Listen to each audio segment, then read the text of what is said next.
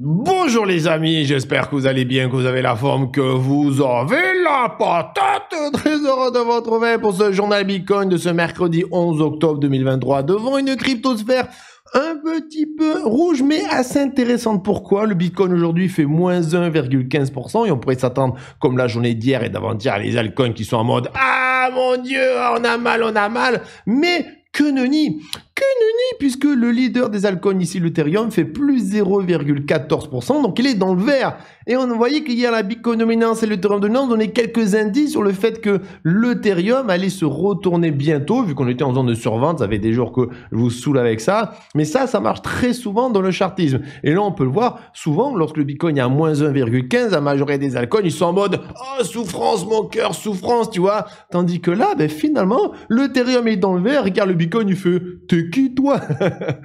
Le, le, l'USDT qui dépègue à la hausse, tranquillement, le BNB, moins 0,86 XRP moins 1,83, ça pique un peu. Solana dans le joli vert, bravo aux holders de Solana. Euh, ici, la Cardano, moins 0,27, Dogecoin, moins 0,76, TRX, moins 1,13, le ton, plus 1,07, moins 0,31 le Matic, le Polkadot, moins 1,31, moins 2,53 pour l'Icon, ça pique un peu.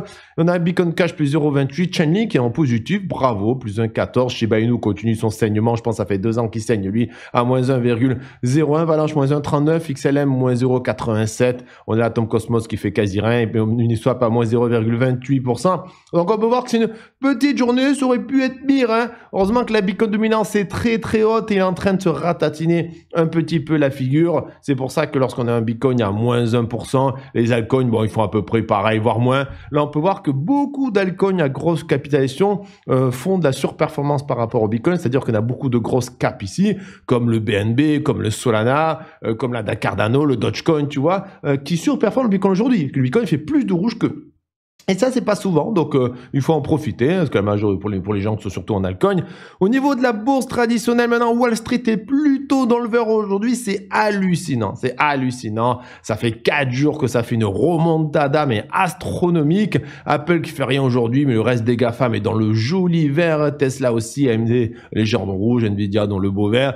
C'est encore une journée verte, c'est assez hallucinant quand tu vas voir euh, la charte ici de, de l'SP500, le, le, le Bitcoin initial de la bourse, j'appelle comme ça parce que c'est le TEF le plus capitalisé du monde, qui représente les 500 entreprises américaines, et tu verras que c'est une remontada spectaculaire. Et donc, comme quoi, il faut une bonne petite guerre au Moyen-Orient pour que, bim, on repart to the moon. Bah non, c'est pas ça, c'est juste qu'on avait tapé quasi la 200 délit, donc ça repart. Comme Mars, ça repart assez bien. Au niveau du marché traditionnel européen, c'est plutôt dans le vert. Par contre, on a les grosses caps qui prennent leur grosse cartouche LVMH à moins 5,56. J'en connais un qui doit être sous respiration artificielle. Tu vois de qui je veux parler. Hermès moins 1,40. Euh, Dior moins 4,76. Waouh, là, c'est un déchargement total. Là, c'est pas beau. HSBA et BNB Paribas plutôt dans le vert. Donc, les banques vont bien. Il faut pas euh, se faire du souci pour elles. Au niveau maintenant des euh, indices qui vont créer la volatilité, cette semaine. Aujourd'hui, de 4h30, on a le PPI MOM. Le PPI MOM, qu'est-ce que c'est ça? C'est l'indice de prix à la production. C'est un indicateur plutôt inflationniste ou désinflationniste. Euh, le mois dernier était à 0,7%. Le consensus et grands prévisionnistes s'attendaient à 0,3. Je vais bien, tout va bien. On est à 0,5. On est entre deux. On nous dit que les prix à production ont augmenté de 0,5%. Donc les prix à la production hein, de 0,5% d'un mois à l'autre. Hein, donc en septembre, vu qu'on est en octobre, ben, c'est un compte pour le mois de septembre. Soit le taux le plus faible depuis trois mois, après une hausse de 0,7% en août, mais au-dessus des prévisions de marché de 0,3. En gros, bon, au-dessus des prévisions de marché, mais la hausse diminue. Et oui, la hausse diminue, on, on peut dire ça comme ça. Donc en gros, c'est légèrement désinflationniste, mais ça reste quand même toujours légèrement un petit peu élevé. Par contre, ça diminue. La dernière fois que ça fait deux mois, dernièrement, elle était plus haut. Donc, on va dire, allez, c'est pas trop mal, c'est acceptable pour les marchés. Demain, à zone, demain, c'est là où ça va swinguer parce qu'on aura l'inflation et l'inflation sous-jacente. L'inflation sous-jacente, c'est l'inflation sans la bouffe et sans l'énergie. Le consensus attend une petite baisse et s'attend aussi une petite baisse de l'inflation. Donc, si jamais Demain, on n'a pas une petite baisse de l'inflation et de la core inflation. Dans ce cas-là, ça risque de picoter un peu sur les marchés, surtout que ça fait quatre jours que la bourse fait un petit rallye assez impressionnant. On ne serait pas du tout surpris que demain, il y ait un des chiffres qui soit pas beau que bam, finalement, ce soit juste un robot technique pour s'enfoncer encore plus bas. On va parler de ça dans cinq minutes. Et au niveau des earnings, aujourd'hui, rien de spécial, fermé ce soir, on aura Richardson électronique. Demain matin, à l'ouverture, on aura du Delta, on aura du Domino's Pizza. Bon, rien qui va faire swinger. Par contre, attention, vendredi matin, là, ça va euh, swinger euh, du popotin. On en parlera d'ici là. Les amis, on va analyser comme d'habitude Bitcoin Ethereum. On va faire un petit peu euh, de macroéconomie. On va regarder aussi les futurs. Je vais vous analyser quelques altcoins aux petits oignons. Et on finira sur Twitter pour savoir ce que pensent les autres analyses sur le Twitter game comme disent certains, ou le CT, c'est quoi déjà C'était le crypto Twitter, voilà, le crypto Twitter, voilà. Je vous invite les amis à prendre le petit pouce bleu et pim pim pim pim pim, le taper ces petites fesses sous net et je vous invite à prendre le bouton s'abonner à la chaîne à Fofi. Je veux que tout le monde s'abonne à la chaîne à Fofi. Les amis, c'est parti.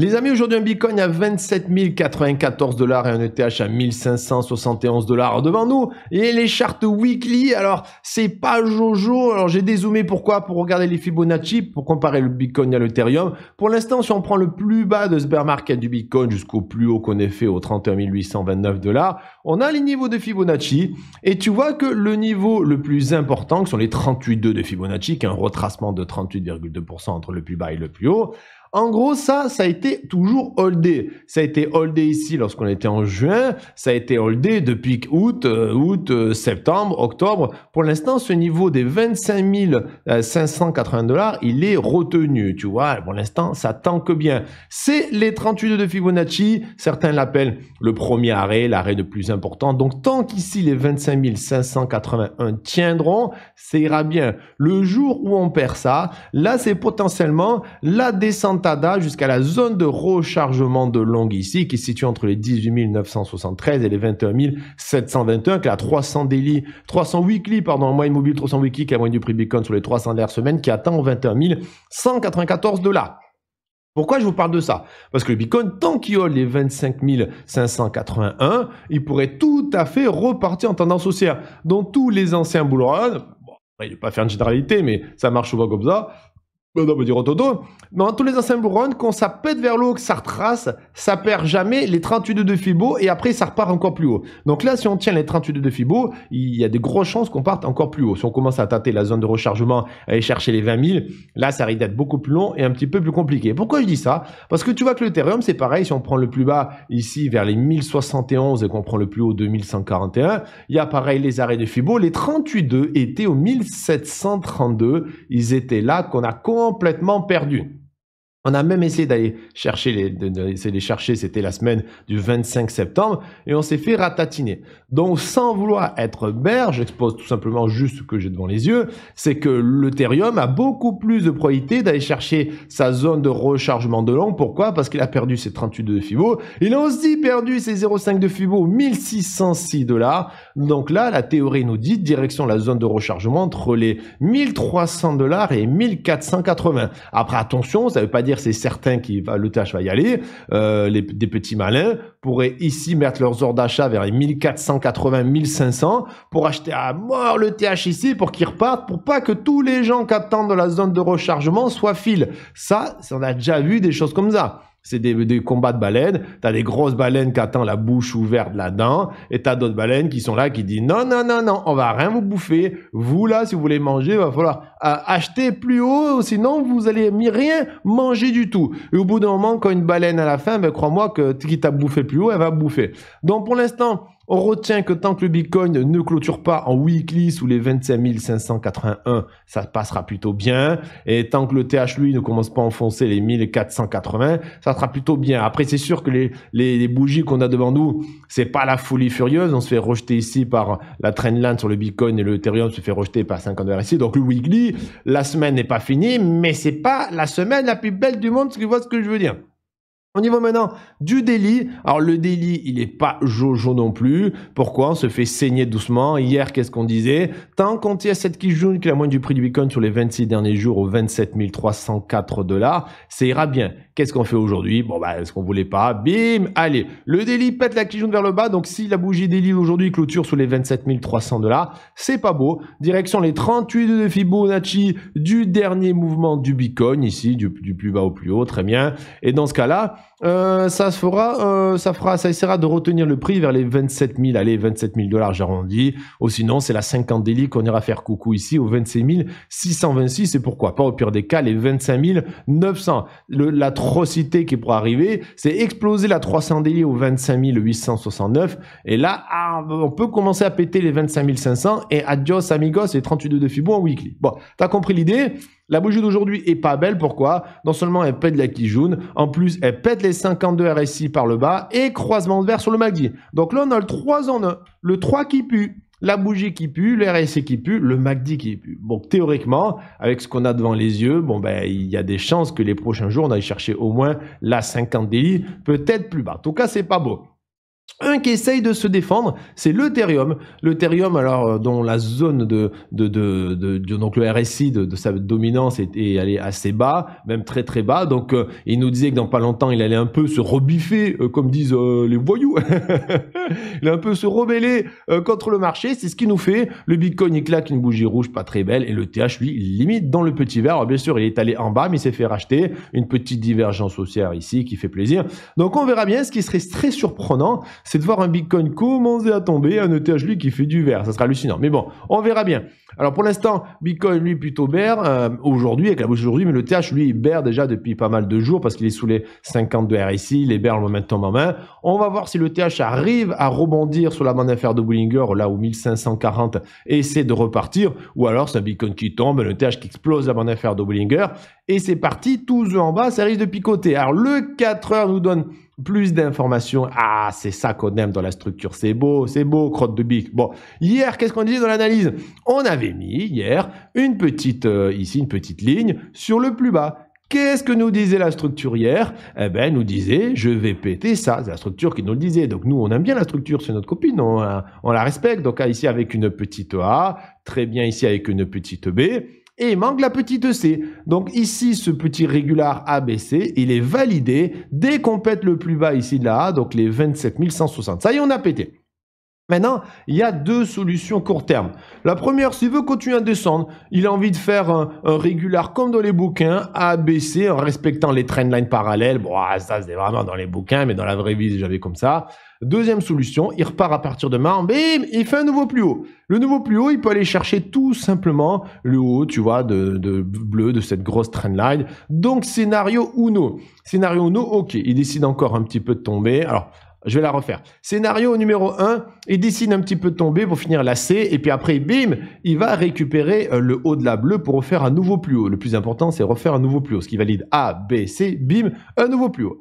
Après, nouveau plus haut, bim, c'est la descentada. Pourquoi descentada? Parce que bon, on a toute, euh, euh, cette structure-là. Ici, on a une A, tu as une petite B en trois temps, et après, bim, ben, tu auras la C, mais après la C, bim, on repart. Bon, ça, c'est scénario 1. Scénario 2, c'est que ben, directement, maintenant, il décide de pousser, de faire un nouveau plus haut, et puis après, bim, il retombe, tu vois. Scénario 3, c'est bim, il tombe direct. il tombe direct, simplement. Donc là, on voit bien que euh, les trois scénarios, théoriquement, nous disent qui va quand même être un peu plus bas, euh, c'est-à-dire aller chercher les 25 000 dollars minimum. Euh, enfin, minimum. Il pourrait rebondir là, mais théoriquement, la structure nous dit qu'il devrait péter le plus bas. C'est ce que dit la structure. Donc là, très bien. Le plus bas, il a été pris. Voilà, écoute, très bien. Maintenant, on va se mettre là. La structure au-dessus, la structure plus grande, la structure mère, maman, euh, dominante, appelle ça comme tu veux, nous dit on va péter plutôt les 24 920. C'est ce qu'elle nous dit. Donc maintenant, on attend. Vu que le, Bitcoin est à chercher sa zone de survente sous le RSI en 4 heures, on ne serait pas du tout surpris qu'il rebondit un petit peu. Parce qu'à chaque fois que sur les 4 heures, il est allé chercher la zone de survente sur le RSI, euh, ça a été des moments où il a duré pendant quelques jours, il a un petit peu remonté, tu vois. C'est du très court terme. Donc on ne serait pas surpris que finalement, il décide ou de remonter, faire un petit canal pour ben, finalement descendre. C'est sûr que s'il nous donne un petit canal haussier maintenant, ça voudra dire que bim, il valide la grande C, la grande dernière vague. Si jamais il décide de ramper doucement vers le bas comme ça, là il va nous dire bim, je vais refaire un plus haut avant de partir. Donc la structure va quand même nous dire ce qu'elle va faire. Mais là pour l'instant, il faut attendre. Si on zoome, si on zoome, si on zoome, bon, là si vraiment on veut essayer de chercher quelque chose, peut-être que euh, aura un truc comme ça, mais vraiment peut-être. S'il fait ça, eh ben dans ce cas-là, oui, c'est hop, il va continuer à tomber. Bon.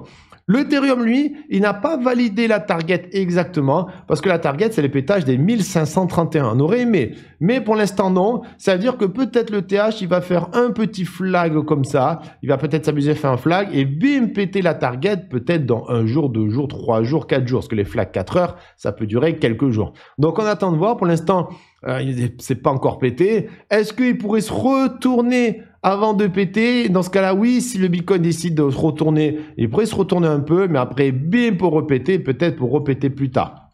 C'est un petit peu l'idée. Donc, pour l'instant, on est patient, on attend. C'est sûr que euh, y a des chances que dans les prochains jours ou dans une semaine, on soit un petit peu plus bas quand même pour le Bitcoin et pour l'Ethereum. Mais bon, c'est pas jamais sûr à 100%. Il suffit qu'il y ait une news euh, fondamentale euh, bullish qui sort de quelque part et bim, ça t'invalide la structure avec une grosse impulsion. En tout cas, si la structure se respecte, ça finira un petit peu plus bas.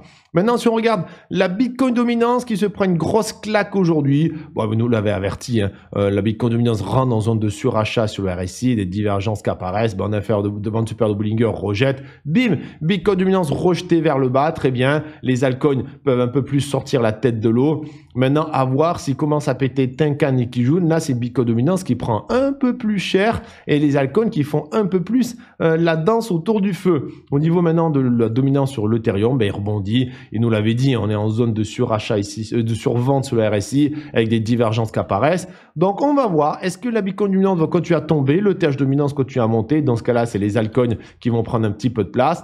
Ça reste possible si on regarde aussi le ratio ETH sur Bitcoin. Ben, regardez, on était en zone de survente sur la RSI depuis plusieurs jours. Et au bout d'un moment, bim, il fallait bien que le TH s'énerve. Donc, on va voir s'il va s'énerver un petit peu et après retomber, s'énerver euh, moyennement et un petit peu retomber, ou s'énerver beaucoup. Et bah, mais ça va être du petit altcoin saison. Alors, au niveau maintenant des dominants des stablecoins, il faudrait que ce soit, pour que le marché crypto soit bullish, clôturé sous la 50 daily, qui est exactement pile poil là au 11%. Là, on à 11,2. Si ce soir, les stablecoins clôturent sous les 11,1, ben, il y a des plus fortes probabilités que on ait du rouge sur les stablecoins et donc du vert pour les cryptos demain. Sachant que ça fait quand même 3, 4, 5 jours que les stablecoins remontent et donc 5 jours que les cryptos font du rouge en général. Il faudrait bien que ça fasse quelque chose. Par contre, attention, parce que les stablecoins ont passé leur 52 RSI avec un croisement boule sur le MACD. Donc, les stablecoins, pour l'instant, ils sont un petit peu chauds. Donc, attention pour le marché crypto. Par contre, si on clôture sous la, sur les 52 daily ou qu'on fait une belle bougie verte pour chercher la 300 daily, là, ça sera pas beau pour le marché crypto demain et après-demain.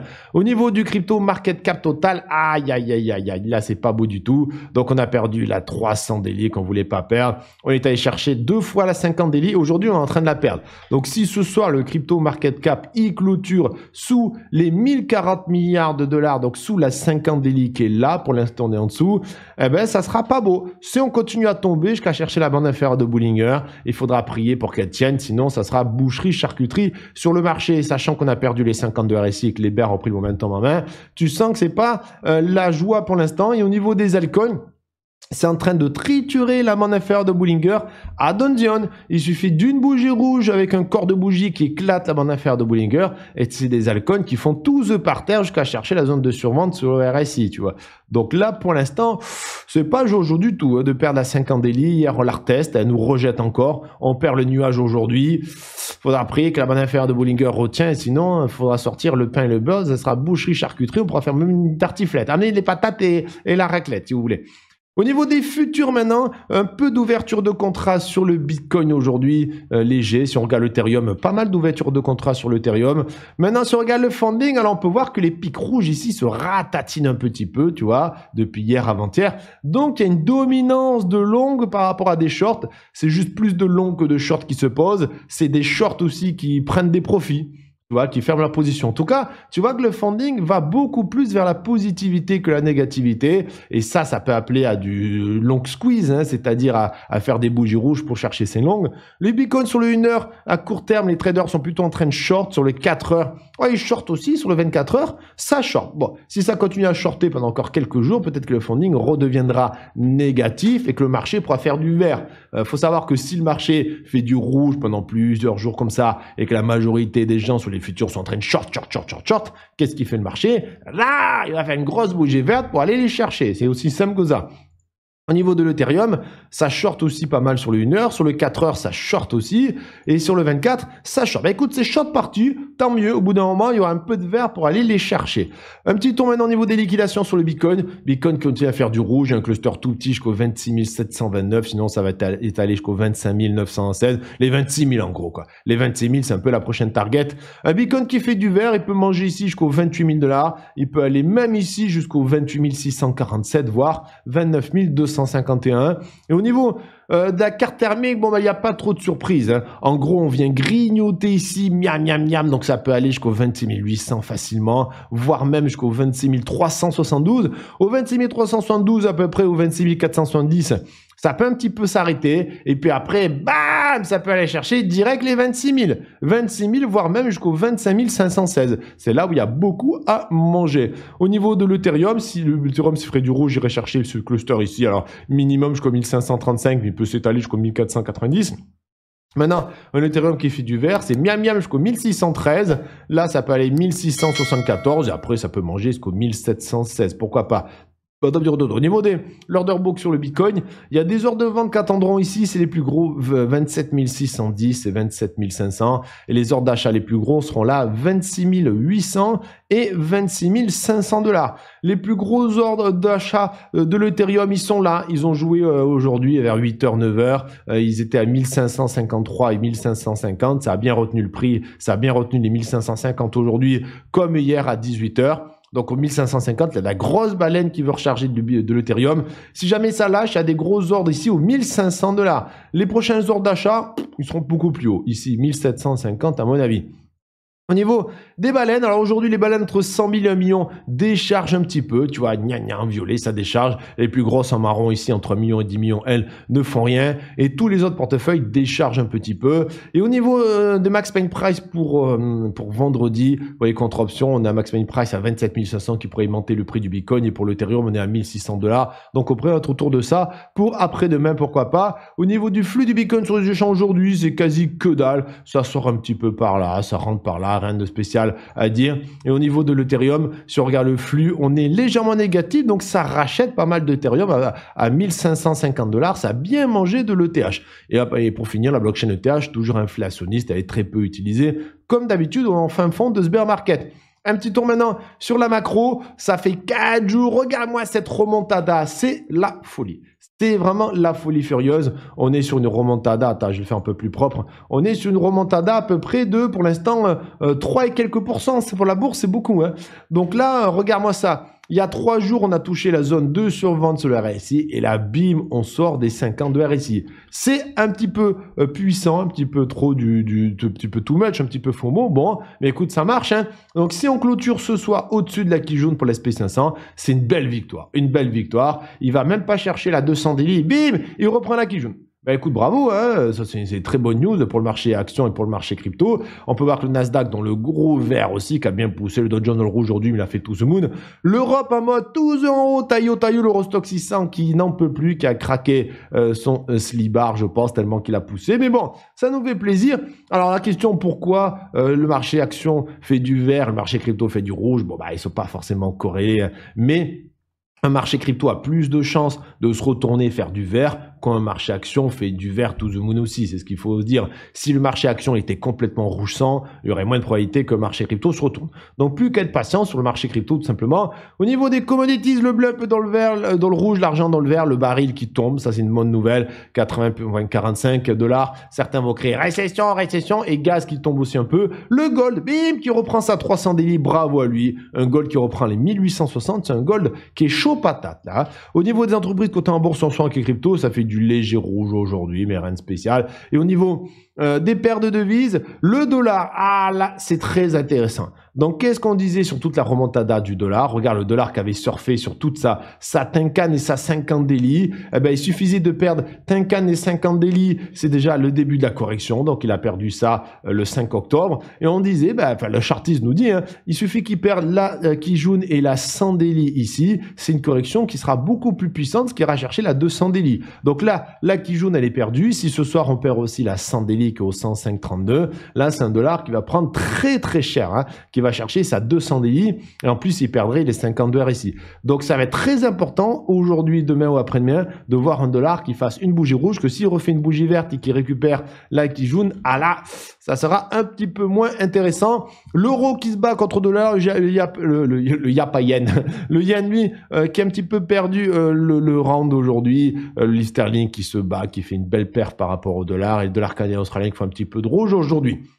Les amis, journalisés, quelques altcoins. N'hésitez pas à mettre en commentaire un altcoin, vous voulez que j'analyse. Je vous fais avec plaisir ce que vous me demandez. Aujourd'hui, je vais vous faire le L-Wond, le MKR, le XMR, le VET et le Sand de Sandbox. Et puis Zebardi, mon kiki. Donc ici, on a le EGLD qui a fait pour l'instant euh, un petit peu une descente ADA. Alors les dernières zones de survente qui étaient bonnes pour cartouchailler, c'était ici les 25 dollars. Zone de survente sous la RSI, ça a été au peu près voilà, autour des 25. Après, il allé retoucher vers les 22. Ça, c'est des bonnes zones pour DCA. Pour l'instant, il n'est pas encore en zone de survente, donc il pourrait encore un petit peu tomber s'il veut, avec les bears comme le momentum en main. Donc pour l'instant, la charte n'est pas jolie, jolie, comme à peu près la grosse majorité des altcoins. Il est euh, tenu tel euh, un randonneur qui soutient une corde dans une falaise par la bande inférieure de Bollinger au 22,80. Éclater les 22,80 avec une bougie rouge comme il avait fait ce matin, c'est la descente TADA jusqu'à chercher la zone de survente où ça va rebondir encore une fois, jusqu'où ça peut descendre. Bon, bah, on sait pas trop, hein, ça descend jusqu'où là où ça veut.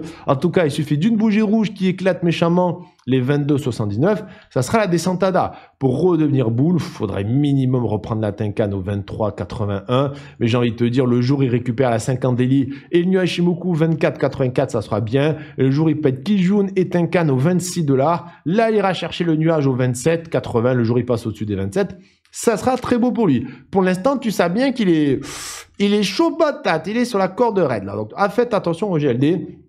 Au niveau maintenant du MKR, qui a bien poussé, regarde-moi cette poussée, c'est assez joli. Alors comme tout asset qui se respecte, à chaque fois que tu vas chercher la zone de surachat sur le RSI, tu as une correction. Zone de surachat sur le RSI, la correction. C'est pour ça que je vous dis toujours, attention, zone de surachat sur le RSI en délit, c'est plutôt des zones pour décharger ceux qui ont envie de prendre des profits et pas pour charger. Hein. C'est pas moi qui le dis, hein. c'est Chartisme qui le dit. Bon, pour l'instant, ça prend sa petite correction. Alors rien de dramatique. Bon, c'est qu'il ait perdu Sakijun et Satinkan ici. Ils sont tous ici, 1413. Donc pour redevenir boule, il faudrait simplement reprendre les 1413 et il ira chercher la bande super double en 1563. Et s'il éclate les 1563, ça sera très beau pour lui. Maintenant, scénario Bert. Eh ben, ça allait chercher prochain support ici, 1258, la 50 la mon en Bullinger. S'il perd ça, c'est direction les 1168 et perd les 1168, il faudra prier que la 200 délit ou 925 tienne. Sinon, ça sera l'enfer profond et damnation. Pour l'instant, il tient les 52 RSI, mais attention, il suffit d'une bougie rouge et bam, et bam, et là, ça sera pas beau pour le MKR. Au niveau maintenant du XMR, lui c'est pareil, il a fait une belle petite remontada. Oh là là, regarde-moi cette remontada, elle est hallucinante celle-là. Du 15 juin, il a fait 3, 6, 9, il a fait genre 3 semaines de verre là. Da da da da da da da. Je monte en zone de surachat, zone de surachat comme d'habitude. Là, c'est pas des zones pour cartoucher et ça corrige. Bam bam bam bam bam bam bam et hop, un dernier petit coup et on revient quasi à la à la au départ. Donc attention parce qu'en bear market, on voit très souvent ce style-là, c'est-à-dire ça pousse. Alors lui encore, il a été gentil, il a poussé un petit peu tous les jours, attendez, il pousse violemment. Et après, bim, le XRP, il a fait ça. Avec l'annonce de la SEC aussi, l'XRP, il a fait x2 et après, il est revenu à son départ, aux 50 centimes, quoi, voire même plus bas. Donc attention, tout gros pump. Bon, après la descente ADA est allé chercher la zone 2 sur vente sur le RSI en délit. Bonne zone pour mettre une petite cartouchinette. Tu vois, quelqu'un qui vend là, zone de surachat, qui achète en zone de survente. Bon, bah écoute, il est pas trop mal. Hein. Maintenant, qu'est-ce qui se passe? On n'est pas loin de la zone de surachat. Donc, c'est pas trop le moment pour FOMO. Il faut attendre la petite correction. C'est en train de corriger. Aujourd'hui, il a perdu 200 délits et 100 délits. C'est pas joli. Scénario boule, ça serait quoi? Ben, Reprendre ici les 153, exploser à la hausse les 156. Et là, il pourra faire taillot taillot et repartir vers le haut. Maintenant, scénario bear, ben, il va chercher la Kijun aux 150 dollars, perdre les 150, c'est direction les 145, voire les 140, et perdre les 140, c'est aux enfers. Pour l'instant, c'est pas Jojo d'avoir perdu la 200 daily, mais avant de connaître les enfers, il aura quand même quelques supports, la Tenkan aux 150, les 149, la Kijun et compagnie. On maintenant. Euh, Duvet qui est aujourd'hui à 0,016. Alors lui, qu'est-ce qu'il nous propose? Quelque chose de pas trop trop joli non plus. Donc une bougie rouge. Oh, c'était pas beau avant-hier. Hein. Euh, une bougie rouge pas belle. Il a pété les 52 RSI. Il a perdu aujourd'hui ben, son nuage chez Moku, la 50 Daily. Il est en train de se faire tenir par la affaire de Bollinger au 0,01622. Exploser, si demain il fait une bougie rouge qui explose les 0,1622. Dans ce cas-là, c'est boum boum boum direction les enfers jusqu'à la zone de survente exactement comme il était au 0,014 ici. Et scénario boule maintenant, ben, il faudrait les péter tout ça jusqu'au 0,01745. Et là, lorsqu'il explosera les 0,01745, il ira chercher minimum la 200 daily au 0,019. Donc attention parce que là, il est chaud patate. Et pour finir, le Sand. Alors le Sand, lui, bon, il est pas lolo. Après, il s'est passé un petit peu n'importe quoi au sein de l'équipe, mais bon, c'est comme ça. Euh, qu'est-ce qu'il nous propose? Il nous propose de revenir de la même zone qu'il était lorsqu'il était en zone 2 euh, sur vente sur le RSI. Pour l'instant, il n'est pas encore. Lui, il est en train de triturer. Ah, peut-être il y a l'effet toboggan qui a commencé. C'est très possible. Pétage la bande affaire de Bollinger, validation, et c'est parti, effet toboggan. Donc attention, je ne serais pas surpris qu'il aille chercher la zone 2 sur vente ici sur le RSI avec encore un petit peu de rouge. Et il faudra prier bah, qu'il rebondisse bien sur zone de RSI pour, pour repartir. Et pour l'instant, bon, bah, il fait des plus bas à chaque fois, des plus bas, mais peut-être des plus bas encore de plus en plus bas, et des plus hauts bah, à chaque fois de plus en plus bas. Donc pour l'instant, euh, il est en tendance baissière. Donc attention à vous. Euh, et pour finir les amis, sur mon Twitter, j'ai partagé des tweets euh, intéressants par-ci par-là. Brutal. Brutal, lui, euh, il est en mode, regardez ici, je te clique. Donc là, c'est ce qu'il nous disait d'aller chercher les 30 000 et après de tomber jusqu'aux 20 000. Et là, on est en train de faire ça. Donc pour lui, voilà, on va aller chercher les 20 000 dollars, voire même un petit peu plus bas, voire même 17, 18, tu vois. Et après, on repartira le bull run. Donc double bottom vers les 20 000, voire un petit peu plus bas. Caléo, Caléo lui aussi, il est plutôt allé chercher, euh, allez, 22 000 par là, vers les 20 000 sur un canal descendant et après ça pète à la hausse et là c'est parti 12 en haut. Quentin, Quintin, Quintin qui nous dit, et si par exemple on serait pas là, comme les anciens bear market, en mode c'est le début, bah, début du bull run. Pourquoi pas, pourquoi pas 7 qui nous dit Jim Cramer. Euh, euh, attends, je vais te le traduire, comme ça, sera plus facile. Bah, voilà.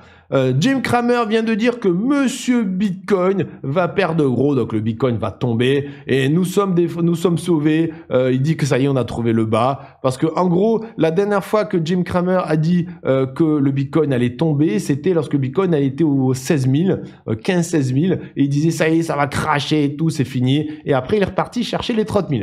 Donc là, il revient nous dire que le Bitcoin va tomber. Donc, euh, bon, il y en a plein qui disent, allez, c'est bon, je pose mon gros long. et puis c'est parti, 12 moon. Euh, Rec Capital, lui, toujours en mode chercher les 20 000 dollars, tu vois, avec triple top. Et puis bim, comme avant, qu'on avait fait pendant le début du, euh, du, bear market. Pour lui, on reproduit exactement la même figure. Double top avec une petite remontada et bim. Et là, pareil, double top avec une petite remontada et bim. Bon, pourquoi pas, hein, attention. Hein. Beaucoup pensent aller aux 20 000. Et souvent, comme beaucoup attendent les 20 000, ou tu vas pas du tout, ou tu défonces les 20, tu vas chercher les 15. Hein. Euh, Yoda, Yoda, lui, il est plutôt pour remonter. Il nous dit, c'est bon, on a assez corrigé, maintenant on va chercher vers les 43 à 51 000. Esder National, lui, pareil, il est plutôt pour non, pour partir, aller euh, quasi en bull run, tout cas tendance haussière. Tu vois, il nous met un petit indicateur en bas ici, et pour lui, on a trouvé le bottom, maintenant c'est que de en haut. Bitcoin qui nous partage une magnifique image de la planète avec des gros bitcoins géants, très très joli, merci à lui. Thomas. Thomas, lui, nous montre à chaque fois, hein, on a une période de bear market dans tous les anciens bear market, puis une période d'accumulation, et après, bim, c'est parti le bull run, et là, on est en période d'accumulation, puis après, le bull run repartira Max qui nous dit il y a deux solutions pour les altcoins ou bim on va retester les 240 milliards. Donc les altcoins vont prendre cartouche et après c'est parti to the moon. Ou alors c'est parti euh, quasi euh, maintenant euh, to the moon. On a fini de corriger. Les national qui nous montre aussi un petit canal descendant comme ça. Et si compare à ce qu'on a fait avant pour lui on va péter vers le haut. Et après c'est parti to the moon. Et ce matin comme d'habitude je vous ai fait une vidéo breaking news avec cinq actualités crypto j'ai sélectionné n'hésitez pas à aller voir avec ici une des des news, c'est Binance qui coopère et qui gèle des comptes liés au Hamas. Binance qui a plein de comptes liés au Hamas, donc t'as eu de dire, euh, vous pouvez peut-être voir ça avant. Non? Bon, voilà les amis pour les vidéos d'aujourd'hui. J'espère que ça vous a plu. N'hésitez pas à vous abonner à la chaîne, mettre un petit pouce bleu, un petit commentaire qui fait plaisir. Je vous affiche la dernière vidéo que j'ai envoyée sur la chaîne ici. Soyez très prudents sur ce marché. Je vous fais des gros bisous. On se dit à demain. Bye bye.